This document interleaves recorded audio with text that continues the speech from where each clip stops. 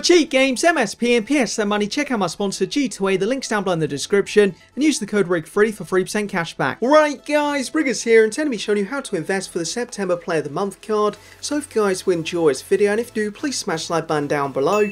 So for September, Aguero and Lacazette, they got a chance, but for the two favourites, got Sterling who got 3 goals and 2 assists, then Hazard who got 5 goals, so for them two, this video is going to be focused on them, so I'm going to go into the investing tips right now. Right, for the first possible requirement, it could actually be to pick up the player themselves. Now for Hazard, he's currently only got 5 pages on the market, and because of that, I don't think it'll be a requirement as he just doesn't have enough cards on the market. For Sterling on the other hand though, he is absolutely spammed on the market, so with him, Possibly this could be a requirement. The cheapest one is currently 28k, so if you want to pick up a Sterling, you can. Next up, going to recommend picking up some players from the country the player's actually from. So for Hazard, for Belgian players, 82A free red players, they use the safe option. So for players like this goalkeeper, he's pretty cheap, so maybe worth picking up players like him.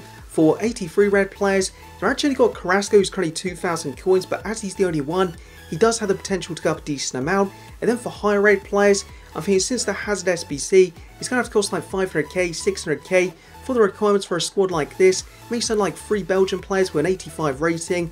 That may make someone like Kompany very useful, and that make his price go up a good amount. Next up, got the England squad for Sterling, so for some of the 81 82 red England players, potentially worth picking up since you can get them near their min price, like as you can see here, Butland actually expired without anyone bidding on him, so someone like him may be worth investing, but for 83 red cards, there's actually only the one who is Pickford. Now for his current price, you would be risking a few coins, but if Sterling wins in there's an England squad, the rating requirement would probably be like 83, 84, and because of that, that would help Pickford go up a good amount, so with him, if you want to risk some coins in him, you can. Next up, got a requirement that does seem to have quite a bit, and this tries to pick up players from the teams who the players have played against over the last month. So for Hazard, play against Bournemouth, Cardiff, West Ham and Liverpool. Then for Sterling, play against Newcastle, Fulham, Cardiff and Brighton. So for this, when investing, Go with players around 80 rated if possible and just pick up the cheapest ones possible and use for their price. It doesn't go up by much but with this method it can make you like 500 coins, 600 coins per card so if you want to do this you can. Going into the next potential requirement which is pick up players from their X team so for both of them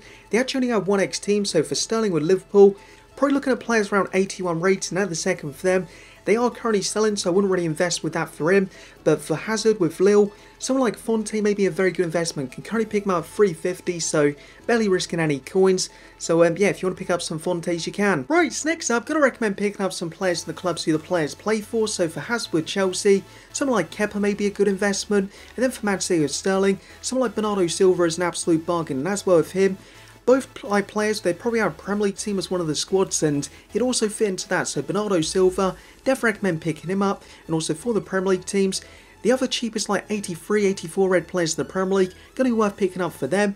Also potentially may require Premier League team the week card, and if it does, someone like Cech is an absolute bargain. So at 14k, definitely recommend picking him up. So that will be it for this video as well now. So see you, Ashini Riggers, and hope you enjoy this video, and if you have, please for like.